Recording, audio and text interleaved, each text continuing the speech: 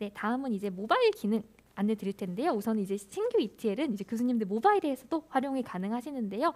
안드로이드 사용하시는 교수님들 계시죠? 안드로이드 사용하시는 교수님들은 구글 플레이 스토어에서 LearningX 어플 선택해 주시면 되고요. 그리고 iOS 사용하시는 교수님들은 앱스토어에서 LearningX 어플 사용해 주시면 되는데요. 교수자용이 있고 학습자용이 있는데 우리 교수님들께서는 당연히 교수자용 어플로 다운을 받아 주시면 됩니다.